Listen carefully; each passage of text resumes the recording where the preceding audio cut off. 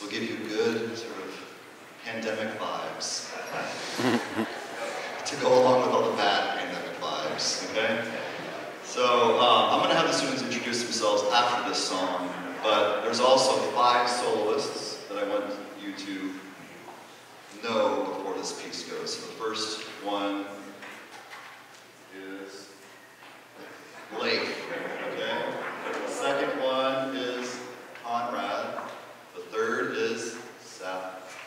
The fourth, And finally, we end with Diego.